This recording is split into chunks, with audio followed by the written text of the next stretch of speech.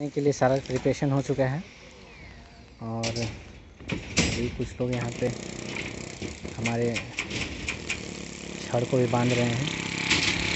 और हमने यहाँ पे सीढ़ी के लिए भी स्पेस छोड़ दिया है और मैंने एक चीज़ यहाँ पे ध्यान देने वाली बात ये है कि ये जो छड़ का जो रड आता है रेनफोर्समेंट आता है, उसको आपको सीढ़ी तक ले जाना है।